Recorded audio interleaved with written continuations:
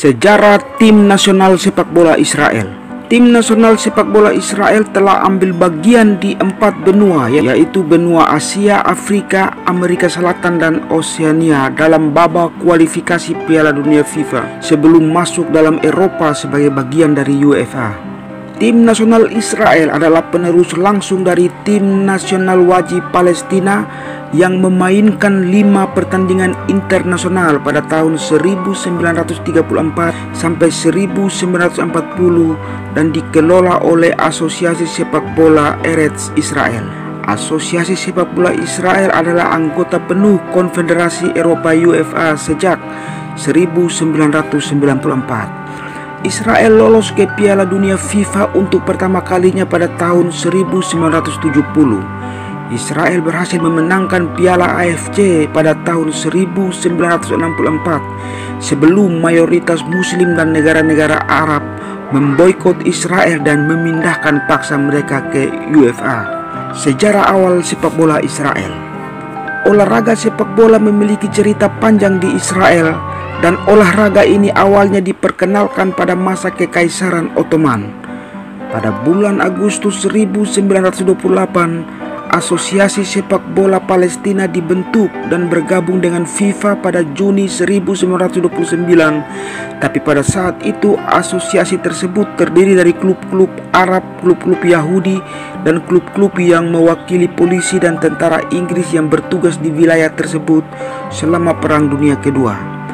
Aturan mandat Inggris yang mencakup periode antara Perang Dunia Pertama dan pembentukan negara Israel pada 1948. Tim nasional Palestina memulai debutnya ketika melawan Mesir di babak kualifikasi Piala Dunia FIFA pada 1934. Dalam pertandingan itu, tim nasional Israel kalah 1-7 di Kairo. Mereka sejauh ini sudah memainkan lima pertandingan internasional, termasuk pertandingan persahabatan melawan Libanon hingga mandat Inggris untuk Palestina dibubarkan.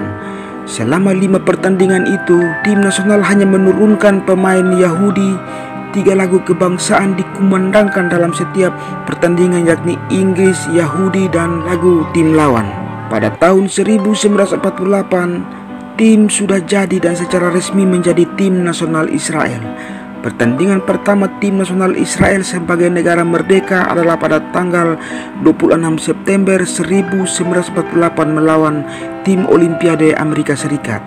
Pertandingan ini dimenangkan oleh Amerika Serikat dengan skor 1-3 dan pada menit ke-20 Samuel Bendor mencetak gol pertama setelah pembentukan negara Israel.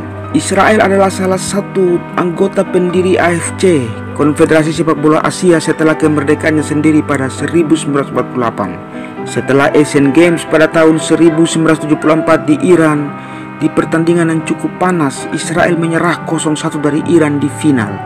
Kuwait, negara muslim dan negara Arab lainnya menolak untuk melakukan pertandingan dengan Israel akibat dari pemboikotan ini. Israel dikeluarkan dari AFC dan menghabiskan beberapa tahun bersama Konfederasi Sepak Bola Oceania sebelum akhirnya resmi bergabung dengan UEFA Eropa. Israel berkompetisi di Konfederasi Sepak Bola Asia AFC antara tahun 1954 sampai 1977. Karena boykot yang dilakukan oleh Liga Arab, akhirnya beberapa negara muslim menolak untuk bermain dengan Israel. Situasi politik memuncak saat Israel lolos ke tahap kualifikasi Piala Dunia 1958 untuk Asia dan Afrika tanpa memainkan satu pertandingan pun. Hal ini memaksa FIFA untuk menjadwalkan laga playoff antara Israel melawan Wales untuk memastikan tim mereka lolos tanpa memainkan setidaknya satu pertandingan dan pertandingan tersebut dimenangkan oleh Wales. Israel menjadi tuan rumah dan memenangkan Piala AFC atau Piala Asia pada 1964. Pada tahun 1968, Israel menuju ke Olimpiade pertama mereka dan kalah dari Bulgaria di perempat final. Pada tahun 1969, Israel lolos ke Piala Dunia FIFA tahun 1970 yang pertama dan satu-satunya melalui Asia Oceania dan memperoleh dua poin setelah bermain imbang satu-satu dengan Swedia dan 0-0 dengan finalis Italia dan kekalahan 0-2 dari Uruguay. Gol melawan Swedia adalah satu-satunya gol di mereka di Piala Dunia FIFA hingga saat ini. Pada tahun 1974, Israel dikeluarkan dari AFC sebagai akibat dari proposal yang dilayangkan oleh Kuwait yang akhirnya hasil pemungutan suara menghasilkan 17 banding 13 suara dengan 16 abstain.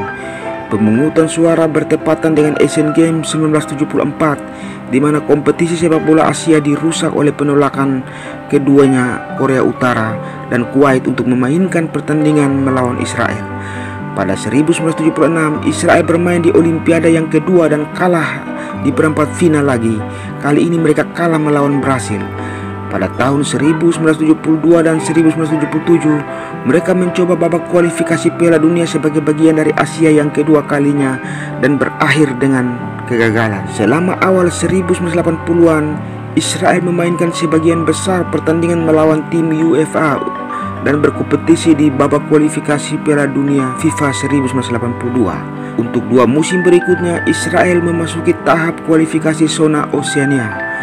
Pada 1989, Israel berhasil memenangkan kualifikasi Piala Dunia FIFA 1990. Pada tahun 1989, Israel berhasil mencapai babak playoff Ball mewakili Oceania dan bermain melawan tim Ball yaitu Kolombia untuk Piala Dunia 1990 tapi mereka kalah dalam dua leg dengan skor 1-0 dan 0-0.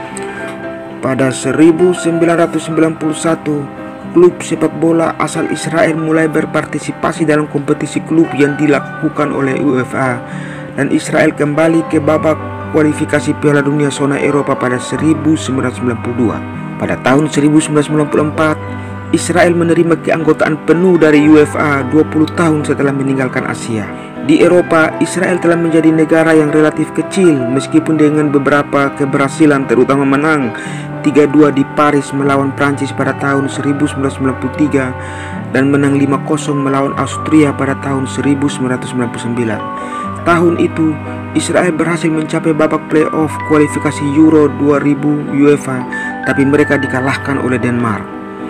Israel nyaris maju ke babak playoff kualifikasi Piala Dunia 2006. Mereka finish ketiga di belakang Prancis dan berbagi poin dengan Swiss yang juga tidak terkalahkan dalam 10 pertandingan. Setelah empat kali menang dan enam kali imbang, namun Swiss memiliki selisih gol yang lebih baik dan melaju ke babak playoff kualifikasi.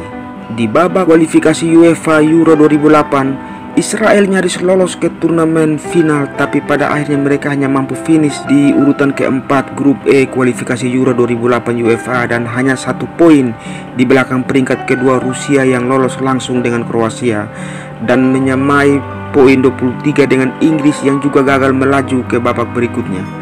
Kekalahan kandang 4-3 dari Kroasia adalah kekalahan pertama mereka setelah menang 13 pertandingan resmi berturut-turut dan 9 pertandingan kandang tanpa kekalahan. Di babak kualifikasi Piala Dunia FIFA 2010, Israel kembali berada di urutan keempat di belakang Swiss, Yunani, dan Latvia.